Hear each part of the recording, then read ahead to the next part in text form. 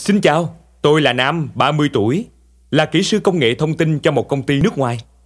Tôi vừa cưới vợ được một năm rồi và đang có khá nhiều kế hoạch cho tương lai, như mua tặng bà xã một món quà thật bất ngờ vào ngày sinh nhật.